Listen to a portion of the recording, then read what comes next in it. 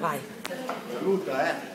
Oggi contestazione di questa giornata di Recruiting Day all'era azienda privata che specula all'interno dei profitti di quel 20% che il referendum come mobilitazione dal basso ha deciso di abolire.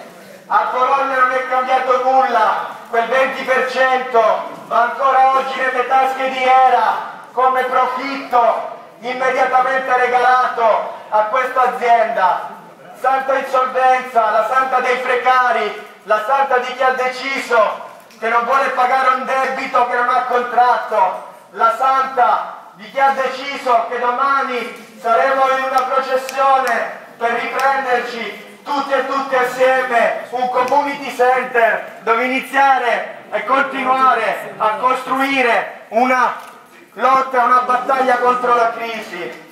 All'era diciamo che il 20% delle bollette ce lo deve ridare immediatamente, diciamo che quel referendum, frutto di una mobilitazione dal basso, ha deciso che le aziende private non devono più avere quel 20% di profitto